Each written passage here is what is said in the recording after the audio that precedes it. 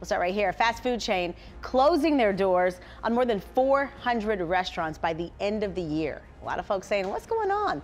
Another longtime restaurant in San Francisco is closing its doors at the end of the week. After 14 years, Barbacco will have its final service on Friday. As we venture further into the year 2024, the restaurant industry is grappling with unprecedented challenges that have led to the demise of several major chains. These 15 major restaurant chains are being wiped out in 2024. 1. The Lost Cajun. Entering 2022, the Lost Cajun, once a rapidly expanding small chain across the nation, faced an unexpected challenge. The pipeline for new stores, consistently welcoming four or five additions each year, suddenly ran dry. Situated in Covington, Louisiana, this concept encountered significant hurdles when pandemic-induced closures shuttered dining rooms in March 2020. The sizable dining spaces and lively experiential ambiance that defined the Lost Cajun were abruptly inaccessible. Founder Raymond Griff Griffin expressed optimism stating, we can see the light at the end of the tunnel in an interview with Restaurant Business. However, more than a year later, the chain continues to grapple with ongoing challenges, emphasizing the enduring struggles of this once thriving establishment. 2. Dave & Buster's Dave & Buster's Entertainment Inc. is struggling to boost customer visits following a post-pandemic spike in traffic, as same-store sales for the second quarter ended July 30th, 2023 were down 6.3%. The dwindling traffic and sales were driven in no small part by challenging macroeconomic circumstances, Dave & Buster's leadership said during an earnings call. Mike Quartieri, CFO of Dave & Buster's, said, what we do control is what happens in the four walls of our business. As you look at the back end of Q2 and what we're seeing today, unfortunately, it's a decline. Dave & Buster's CEO Chris Morris said that even though the leadership team analyzed its business to figure out where the same-store sales decline was coming from, they came to no meaningful conclusion other than a shift in consumer behavior. 3. Chuck E. Cheese In the past decade, Chuck E. Cheese has grappled with challenges in keeping pace with evolving consumer preferences. In 2020, the company made a sobering announcement, revealing the permanent closure of 45 locations. The iconic family entertainment and dining chain, Chuck E. Cheese, is currently displaying signs of distress. Ongoing rumors circulating online suggest an imminent exit from the business arena. With closures of various locations, recent experiences with bankruptcy, and a diminishing appeal among today's youth, questions arise about the fate of Chuck E. Cheese's beloved pizza party. Remaining open locations have also reduced operating hours as well, fueling fears. Despite these indicators, CEC Entertainment's owner of Chuck E. Cheese has not issued any public statements confirming wholesale closures or a definitive shutdown. So, fingers crossed. 4. Golden Corral Closures of Golden Corral franchises have become a regular occurrence. But what one franchise store is doing is truly inspiring.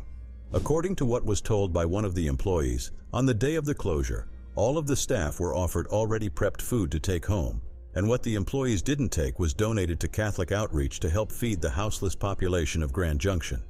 The real reason behind the closure is that the lease on the building was up, and in order to re-up the lease, the Golden Corral franchise had to go through a very pricey renovation. It would have cost the franchise owners over half a million dollars to renovate the building, and along with that, they would have had to sign on for another 15-year lease. 5. IHOP IHOP is retiring its fast casual flipped by IHOP brand after opening four locations in a little less than two years. The pancake chain won't be opening any new flipped stores, and three of the existing restaurants appeared to be closed this January. The company didn't specify why it's shutting down the concept, but said the decision came after evaluating the results of what it called a pilot.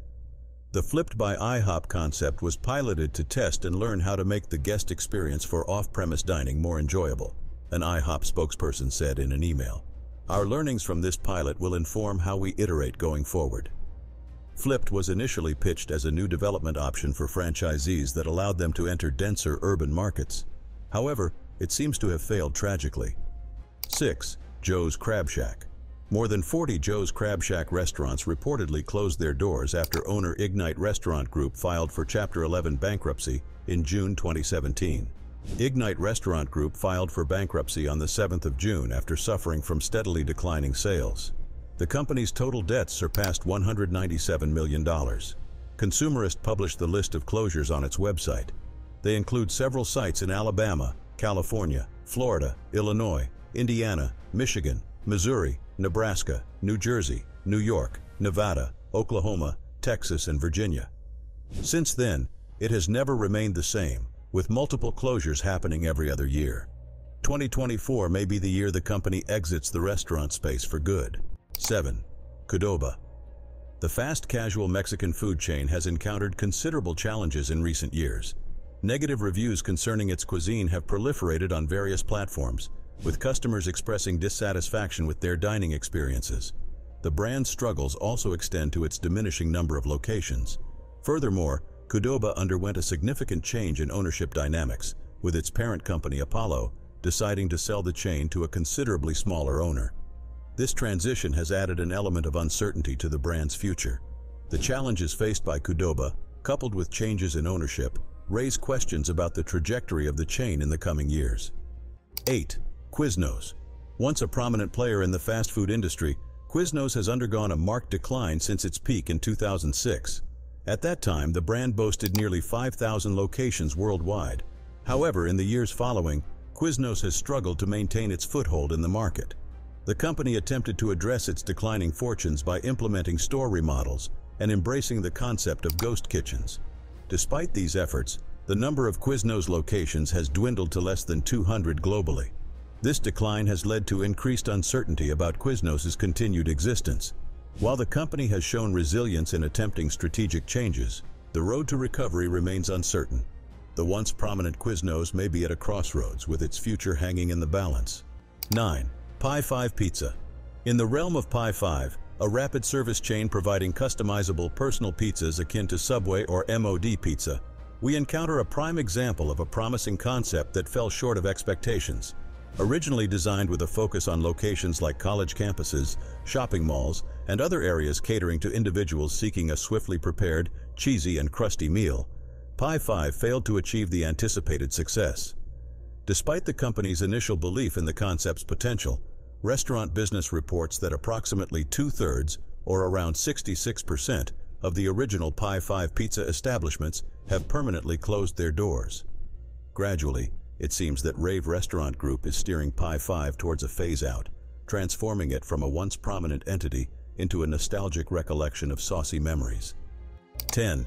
Meatheads Burgers and Fries The Chicago-based fast casual burger chain found itself in financial turmoil and ultimately declared bankruptcy in April 2021. The chain's 13 locations in the Chicago area featured made-to-order burgers, hot dogs, french fries, salads, and sandwiches.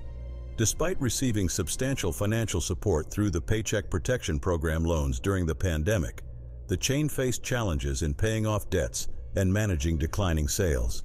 The company's financial struggles were further compounded by a significant loan taken out in February 2019, totaling over $6.65 million at an interest rate of 17.7% per year.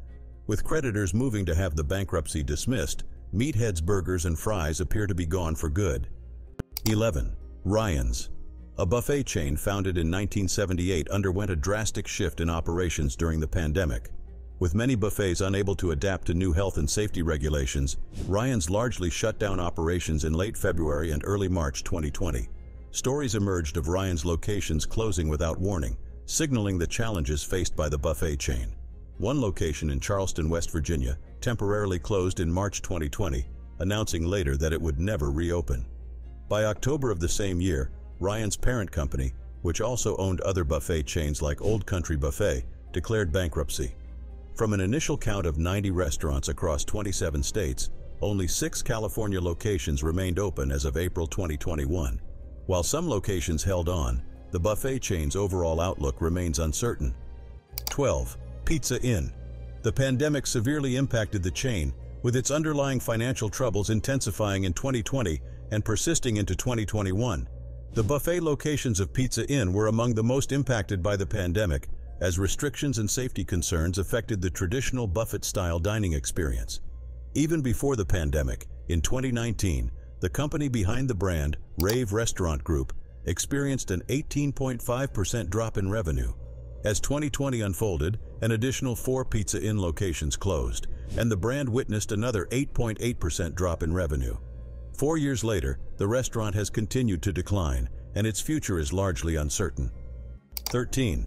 Burgerim. The fast-growing chain that made a mark with its mini burgers faced challenges that began even before the COVID-19 pandemic. Originating in Israel, Burgerim expanded rapidly in the United States, reaching over 1,200 franchise agreements across the nation.